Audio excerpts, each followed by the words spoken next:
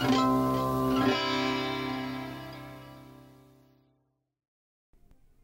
I'm Dre with ACK, and I'm here with the CRKT Woods Kangee Tomahawk. The Woods Kangee Tomahawk is the perfect choice for campers and off grid living alike.